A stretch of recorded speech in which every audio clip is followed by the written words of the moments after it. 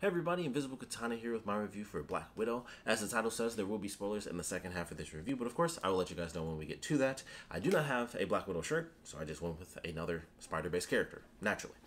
I like the movie. First off, I did see it in theaters because I was not going to spend $30 to see it on TV. Um, it's just ridiculous. I'm like, I could, I think I spent like $12 to go see it. I was like, including my, I probably spent less than that actually because fortunately I had like, that one free ticket left from the olden days of going to the movies all the time. Um, but it was a good movie to see. It was definitely like a, a movie worth seeing in theaters for sure. This was not like I didn't see Mulan because that that would have been dumb. But everybody said it was gonna it was meh, you know, and it wasn't as spectacular and everything as the original animation, which you know it's hard to do that in live action. But in general, people were just like, even in the limits of live action, hmm, not that great. This, however, was amazing. Like the action in this was super crazy, and it was definitely like, especially the end. The ending was, you know, we'll get to that in spoilers for sure, but one of those scenes is from the trailer, like the scene where they're falling. That's that's end game stuff, you know, like that that's end of the movie type stuff, and it was like, yeah, yeah, this was it was literally formatted for IMAX. I was actually in the credits, and I was like, oh, no wonder they like, yeah, that this was definitely a see it in the theaters movie experience. So glad I got to see it. I definitely enjoyed it. I thought it was a really good film. Uh, first off, it was cool to see Black Widow get her own movie. I thought that was actually pretty cool. And like a lot of people, it was just like, it's weird that they did it after. You know, it's weird that they literally kill the character off and then they do it. And it's super weird because this does lead into the next movie. So it was just weird that it was like, man, what would it have been like if we actually got to see that? Because it would have endeared us more to the character. That's why I'm, I'm kind of curious because I know that they had to have had that planned out, you know, for a, a little, a decent chunk of time at the very least. So it's just like, they really should have done it beforehand just to kind of you know endear us more to Black Widow because admittedly Black Widow was Black Widow. Like she didn't have anything. She was in the same vein as Hawkeye. Um who actually well yeah he got more. He got more before she did because even that opening scene uh in Endgame is honestly one of my favorite moments in all of the MCU because like as soon as that movie started with him I was like this is effed up. Like as soon as started, I still remember being in the theater and that movie started and it just opened with him and his daughter. And I heard somebody go, ah, and I was like, this is an amazing. As soon as it did that, I was like, this movie is gonna be good. And it was just, it's just such a good opening.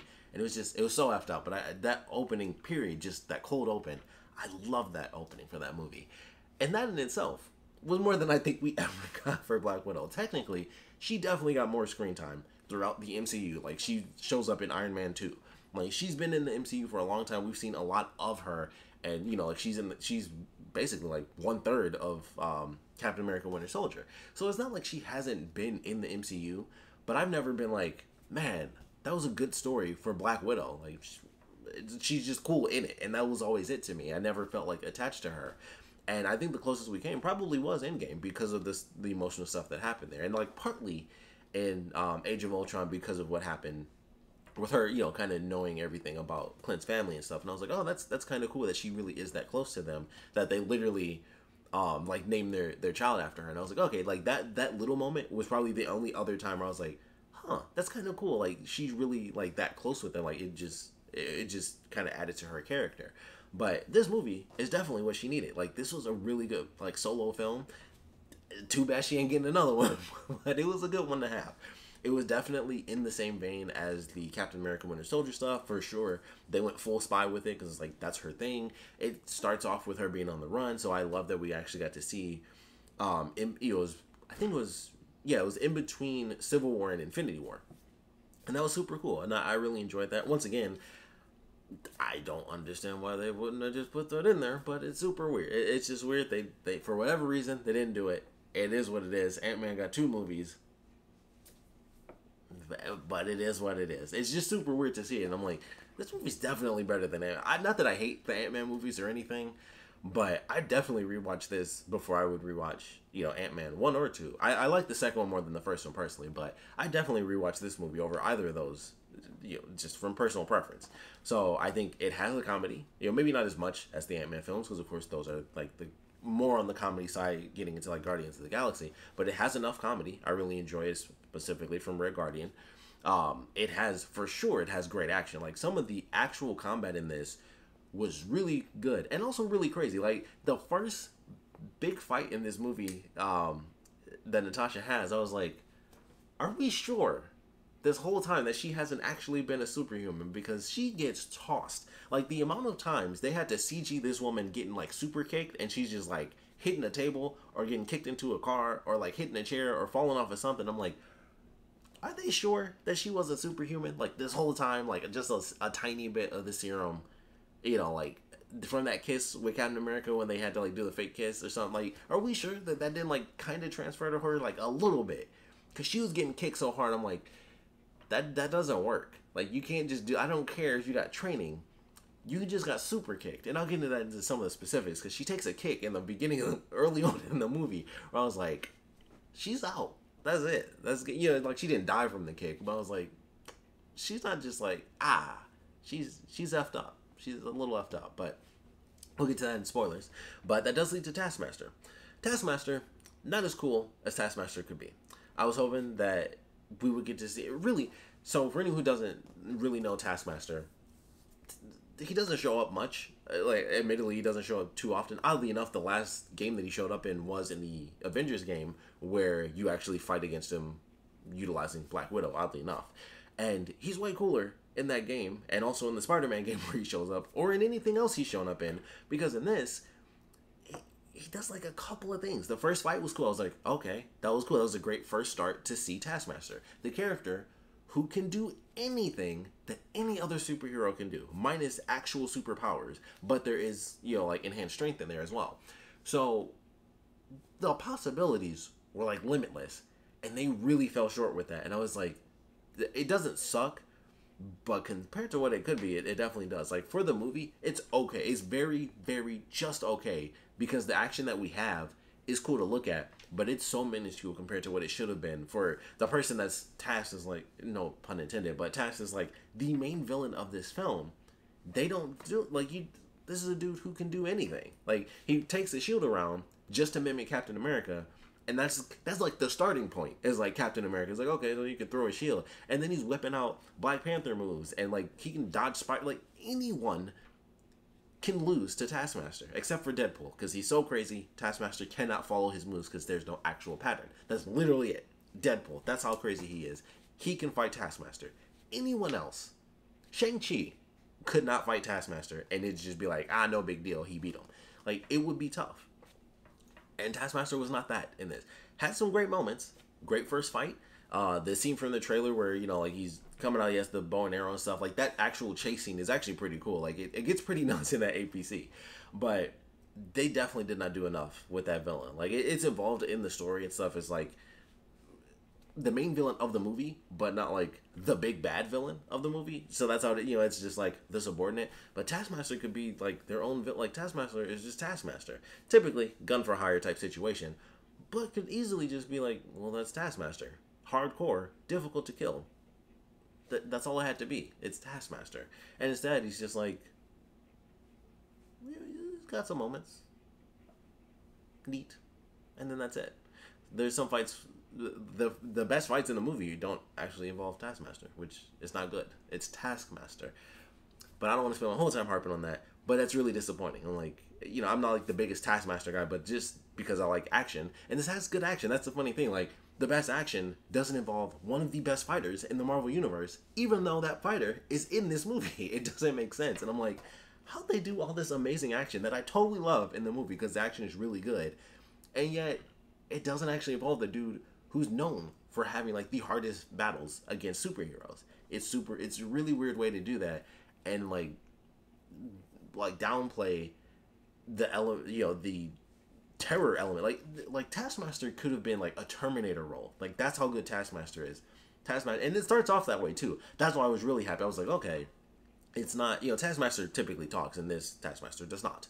Um, so it's, it's the classic like just quiet villain imposing stature he's walking up like he first comes out like the first steps in the actual suit and everything is like they make these loud noises when the boots hit it's very dramatic and i was like okay over the top, but I like it because you know if you've seen the costume, it looks very MCU. Admittedly, it looks very metallic and robotic, and I was like, okay, is there's a person underneath it, and I think the fact that it was more of like an actual metal helmet instead of the it's basically like a skull mask uh, in the comics. I think that actually did help the imposing nature because I'll be honest, as cool as it looks to have like the skull mask, when it's done in 2D it does kind of just like yeah, it does kind of just look like a skull mask. So they could have still done it in 3D and it would have looked great. But I was like, I think it does add to the imposing nature, um, going all the way down the suit, and also he, he does not have the cape. He has like you know just has a hood. Uh, but I believe he does have a hood and a cape. They may have changed that as well. You know, it's comic book costumes change. People die and all that stuff. Um, but yeah, that, that was definitely a disappointment where I was like, man, I wish we got to see more Taskmaster. Um, what we do see is good, but we definitely needed more. I hope there are like some deleted action scenes and stuff, but th- that I guess doesn't matter at this point. In the film, they didn't show enough, so that was unfortunate. Uh, oddly enough, that leads to Rachel Weisz's character. She wasn't in it as much as I would have liked either. Um, I thought that she would have a bigger role to play, as the whole element, of course, is um, you know this this family dynamic, which they talk a lot about and everything. They give some explanation as to how they were like a family and how they've been separated all this time and why they've been separated all this time. I thought that was cool because it's definitely a big question when you have a story of a character that's been in uh, all these movies, you know, leading up to Infinity War, or you know, even after at this point, um, considering this technically was made, you know, uh, after Endgame. I was like, well, where have these people been? What's been going on? Why hasn't she seen them? And all this stuff. They answer all those questions. Everything is kind of laid out and makes sense. So I was, I was definitely happy about that. As far as the writing goes, it's not like well, I still have to question this. Uh, there's some stuff that's dumb, which of course we'll get into spoilers, but there, you know, there's like, it's really, it's, it's, you know, I can just be honest, it's not a spoiler, but it's just the, um, the accent, her not having an accent is in no way, shape, or form actually answered by this movie. Like the explanation they give is like, mm, no, that doesn't work. That still don't work. So it, it was just kind of funny. It was like, that does not answer, that does not work. That's that was like the one thing where I'm like, that doesn't work like you might think it does. It doesn't force you to tell. It doesn't. The movie's not like this is why this works. Her not having an accent. It, it doesn't force you to be like this is the answer. But it's like there's not really an answer. It's just like well, that doesn't make any sense. If anything, she should have an accent. It's weird that she doesn't. Um, so that that's really like the only thing. Everything else though gets answered, you know, nice and cleanly, and you know everything is good. But I like all the other actors in it. You know, like I said, Rachel Weisz is good. She just wasn't in it as much as I would have hoped. Uh, David Harbour, he's definitely the comic relief of the film. I enjoyed him in it. Um, I want to say Yelena is the name of the character. I cannot remember the actual actress's name, but Yelena, uh, Natasha's sister, she was great. I thought she was really cool. Like we get to see her story kind of play out as well, and they don't you know they work together and it's this relationship. Of course you know why have they been separated? Does it make sense? Does it not make sense? All that stuff coming together i was like okay. I, I like how it comes to i like how it comes together. It, it was well done. I like that their first interaction made a ton of sense where it was like you know we're two spies. It's been a long time. As spies can i trust you? Like i know we're sisters but can i trust you? Do i not trust you like you weren't supposed to be here like but i was here because you kind of sent this thing but did you not send this thing? Like there's a you know it's the spy questions. So i like the way it was handled. I was like all right that was cool. It, it made sense and then of course you get into even more crazy action and it was done well. It, it was just done well. So i like the action. I like the way they handle uh, the family kind of coming together them talking about it being a family and why they've been separated and their emotions from the you know their time of separation versus their time being together why they separated how long they've been separated you know what to do going forward and things like that. And obviously this being before infinity war and endgame they answer all those questions going into like well if they bonded again as a family why are they split up? All this good stuff. Definitely makes sense. So i like the way that was handled. And overall i say it was definitely worth seeing. I, I really enjoyed it, it you know actually it was the second movie that so I, I saw a quiet place part two the day before i got to see two movies in a row in the theaters. And i was like this feels nice. So it was definitely a great movie to see in theaters so i highly recommend it. Um, I think that's pretty much everything. Yeah, Taskmaster. Not a, the. I should say this before we get into spoilers. Uh, Big Bad Villain was just okay. It was another thing where I was like, I feel like that kind of needed just a little bit more for me to enjoy it a little bit more because it was like, oh, they have an element there that makes sense, but I was like, it just wasn't enough, especially for a character we've never heard of. Like this is a guy that get gets technically introduced in this movie, and it's just like Hmm. Yeah, it's a huge build-up. I know that technically he's the reason that Black Widow has been Black Widow. It's the reason that the whole family element, all this stuff happened. But this is a guy who's responsible for all these things, like you know, all this stuff that comes from um, Age of Ultron and everything, like the dark visions that everyone sees, and Black Widow saw like her being in the Red Room and all that stuff. This is the man that started it. He's the villain that created this hero, and it was just like, eh you know, it was kind of like he's just he's literally the big bad villain, and he has like a cool moment, which I'll talk about in spoilers. But like, kind of disappointing. So it kind of sucked that like Taskmaster, who was like the poster villain, didn't get enough screen time, and then the big bad villain, he got less time. It's like the main guy got more time than Taskmaster, but the time that he got was like there are parts of this that are cool, but also like I just met you, and I'm not like super tied to anything that is you, right? Despite everything that you've done that made this character that I like, you're just you. Like she literally left this dude in the past a long time ago, and she's coming back to finish the job, pretty much. And so I'm just like, didn't know about you before, or won't care about you after. That's just how it felt. Like once it was done, it was like, it was done. He was the villain, and that, that was kind of it. Still a great movie. Highly recommend seeing it if you haven't already. But getting into spoilers, I'll make the spoilers quick. Um, Taskmaster doing that first kick. When Black Widow got kicked into that car and she fell in the water, I was like, that kick was so hard, it should have dislocated her shoulder. Like, she got kicked into a car and then like bounced off the car and kept going. Like she didn't hit the car and then like tumble. She hit and just flung in midair. She spun in midair. That's how fast she was going when she hit that car. And she just swam away. No biggie. No problem. She fought her sister, which that was actually one of the parts I liked. I remember the first trailer came out when they fought. I was like, I know I'm gonna like the action in this movie because they were like fighting for. It. They were. It was funny it was just a good funny fight especially because they weren't you know she wasn't trying to kill her sister at least and she's like please stop and she like hit her in the head with a plate but like getting her, her getting flipped into the um into the door and then she got flipped onto like another table or something like that i was like she's getting tossed around like crazy and she falls a lot in this movie i was like there's there's this doesn't make any sense she should be dead she should have been okay when they after they do all that and the woman drop down from the ceiling and they have that moment where they push off the pillar and the other Black Widow, you know, she's like, you know, I'm a. Uh, she got her hand. It was so funny. I know it was because she's mind control, but it was like she's holding onto this woman's hand, the only thing keeping her in the air, and then it's like, I gotta stab you, and so she's trying to stab up, and so of course she drops, and so like she's gone, but the pillar falls. Yelena, she pops through the window. Natasha hits this. She got hit so hard. I'm like, she might as well be in Spider-Man 3 right now. She should be laying right next to Harry Osborn, unconscious amnesia. That's what she should have right now. And not only that, she landed on her feet. Like she was dropping left and right. And then she dropped down and was like, boom, right on my legs. Are we sure she's not superhuman? At all. Because that don't work. That does not work like that. So that was just funny to me. I'm like, she, the stuff that she did was so, and it's funny. We've had a bunch of movies with her in it. She does all this crazy stuff that's impossible. And this movie just upped the ante so much. I was like, everything she's done pales in comparison to her own film, which makes sense. It's her movie. But I'm like, she legit seems superhuman from the ridiculous stuff she's doing right now. Make like falling on her arm, hitting. Uh, she actually did hit her head, if I'm not mistaken. You know, I don't remember every single hit, but there were there was more than one, and she still managed to drop down, land on her knees, and when she hit the water, boom, I'm good. Let me help you out. Like she's not no that doesn't work. It does not work. But it was entertaining to see. So i liked all the action. Um, taskmaster kicked her so hard she should have dislocated her arm. When she fell she should have been knocked unconscious period. That just just crazy just crazy.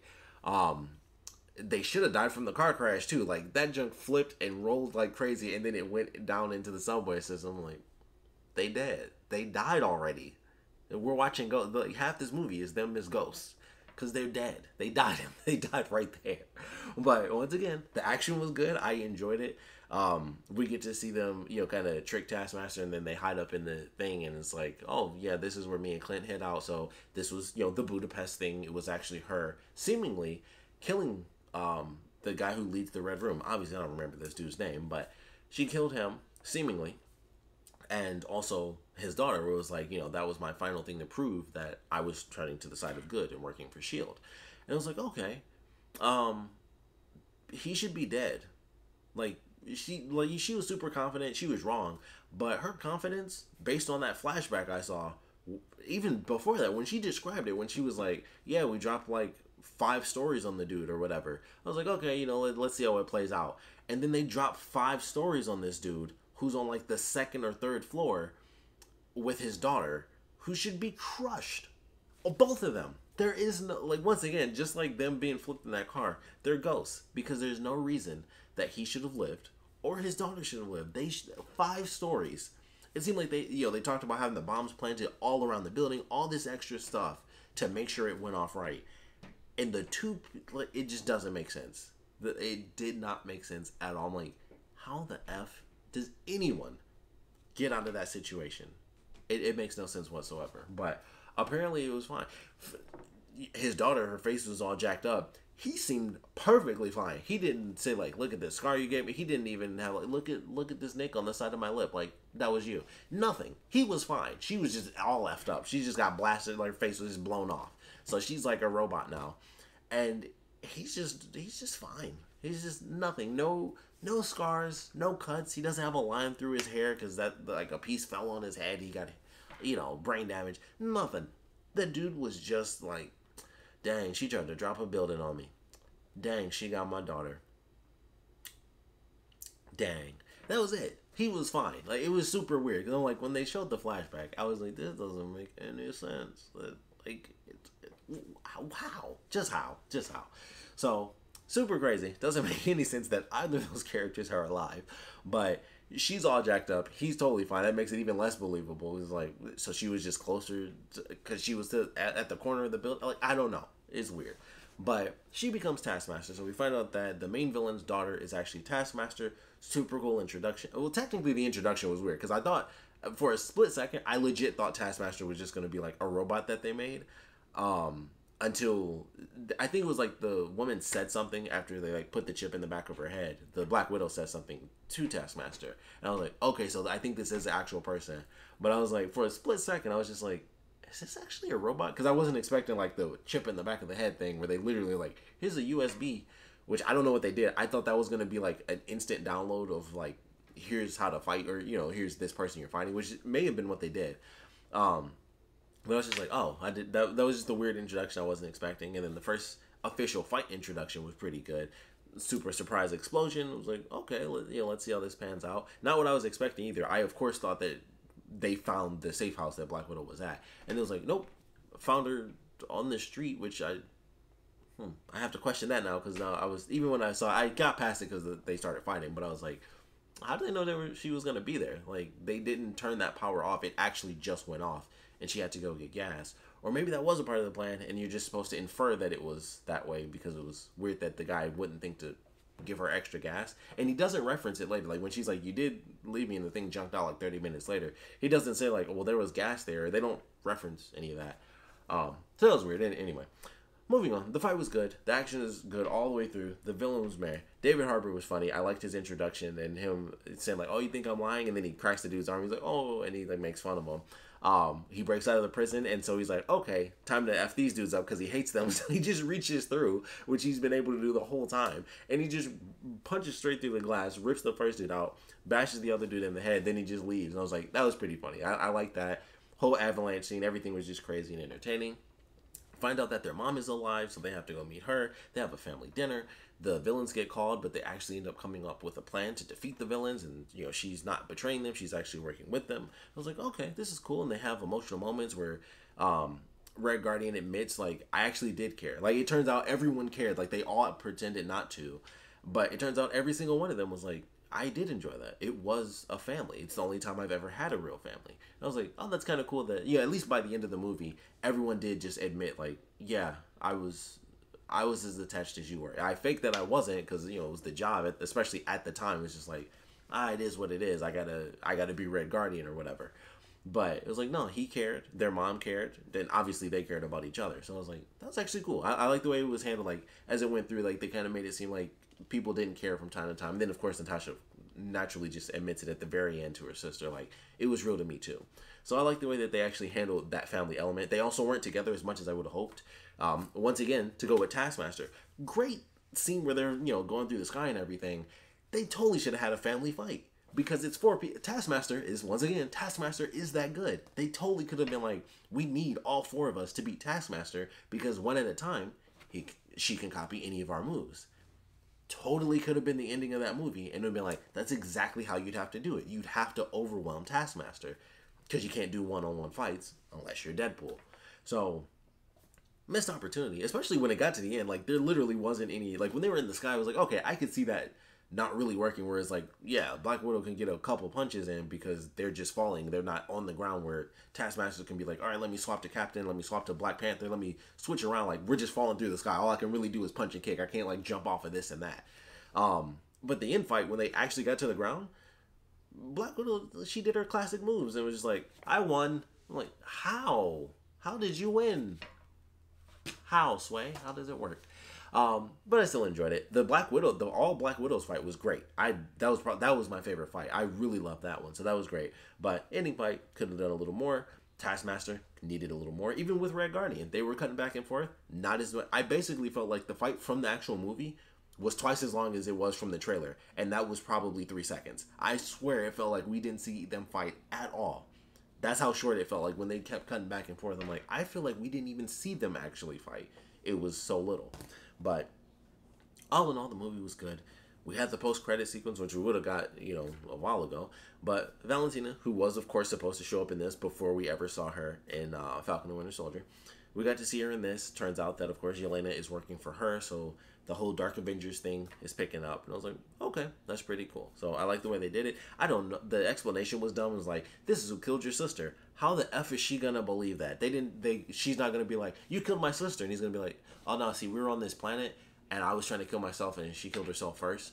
The five minute conversation that they could possibly have about that, like, it doesn't even make sense. It's her sister. All the Avengers would be like, this is what happened fight like there shouldn't even be a first fight like she would know the i don't know we'll see we'll see it in hawkeye later but i was like that just doesn't work in so many ways once again how how but i enjoyed the movie definitely would love to see it again uh, probably won't pay to see it again. I'll probably just wait till it is free because I think it only takes another 30 days. But super sweet movie. Love the action. I like the story. I actually like the comedy of it. Um, I was gonna say I'm excited to see where they go next, but next is she died, and we'll see in Hawkeye. Um, would love to know your thoughts on this.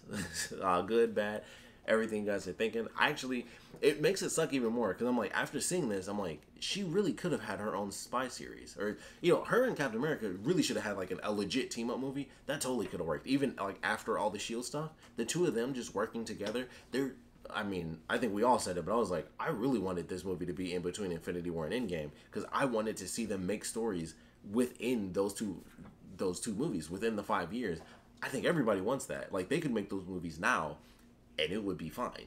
They couldn't do it with Captain America or probably Black Widow or Iron Man or some of the other big people, but they could do with somebody for sure. So it is what it is. We'll let us know what you guys thought about this movie. So please put your comments down in the comment section below. And of course, thanks for watching.